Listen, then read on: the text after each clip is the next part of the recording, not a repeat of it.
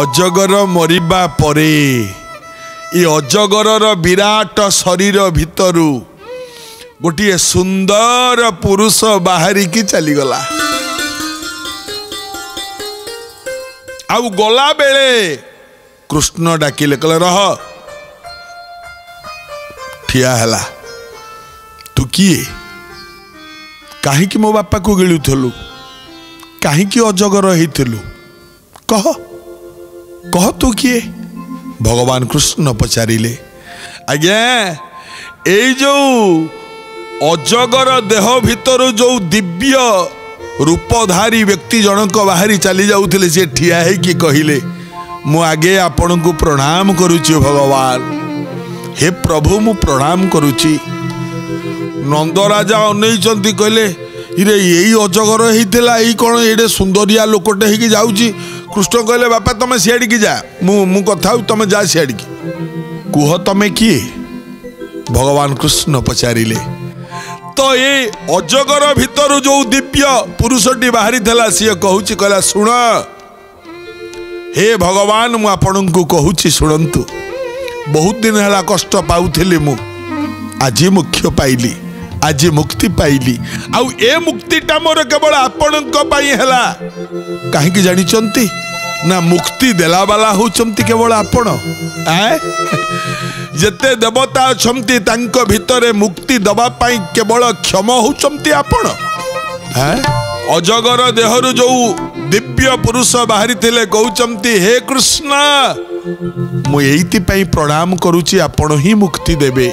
ଆରେ ତମେ କିଏ ତ କୁହ ଏ ଦିବ୍ୟ ପୁରୁଷ କହୁଛି ଶୁଣ ସ୍ୱର୍ଗର ରାଜା ହଉଛନ୍ତି ଇନ୍ଦ୍ର ଆଁ?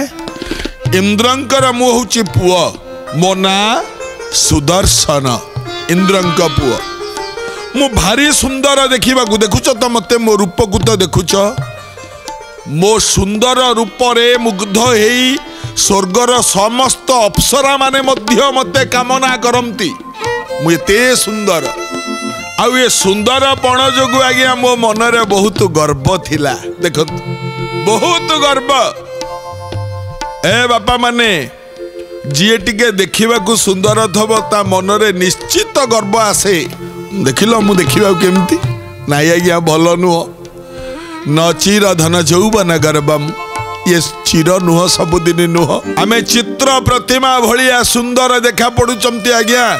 କିନ୍ତୁ ଚିରିକି ଦେଖନ୍ତୁ ତ ଭିତରେ କି ନାର ଖାର ଭିତରେ କଣ ଅଛି ଆଜ୍ଞା? ଚିରିକି ଦେଖନ୍ତୁ ତ।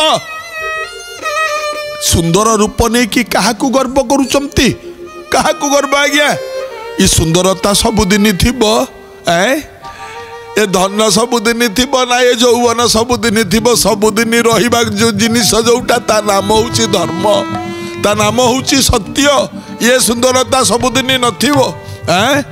କହୁଛି ସୁଦର୍ଶନ ଇନ୍ଦ୍ରଙ୍କ ପୁଅ ମୁଁ ମନ ଭିତରେ ବହୁତ ଗର୍ବ କରିଥିଲି ମୁଁ ସୁନ୍ଦର ବୋଲି। ମୁଁ ସୁନ୍ଦର ମୁଁ ସୁନ୍ଦର। ବହୁତ ଗର୍ବ ଥିଲା ମୋ ମନରେ। ମନବୋଧ ଚଉତିଶା ଥରେ ପଢନ୍ତୁ ତ?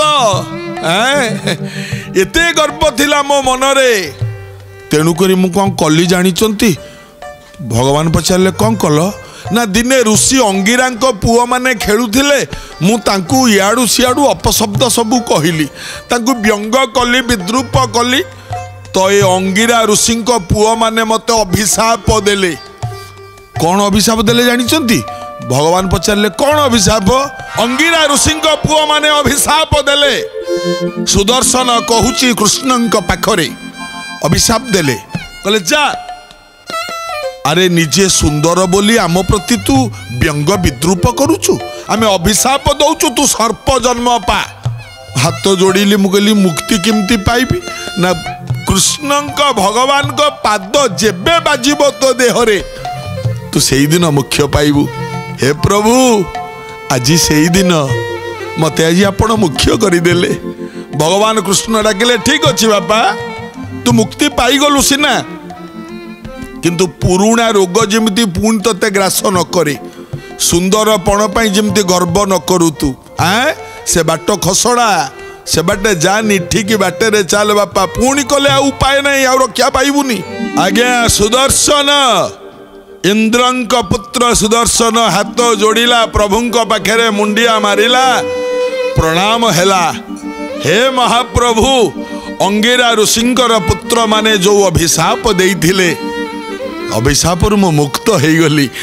ବହୁତ ବହୁତ ଧନ୍ୟବାଦ ଭଗବାନ। ଆପଣଙ୍କୁ ଅଶେଷ କୋଟି କୋଟି ପ୍ରଣାମ କରୁଛି ଆପଣଙ୍କୁ। ଏହା କହିଲା ମୁକ୍ତ ହେଇକି ଚାଲିଗଲା। ଆଜ୍ଞା। ନନ୍ଦଙ୍କୁ ସର୍ପ ମୁଖୁ ତାରି ବିଦ୍ୟାଧରଙ୍କୁ ମୁକ୍ତ କରି।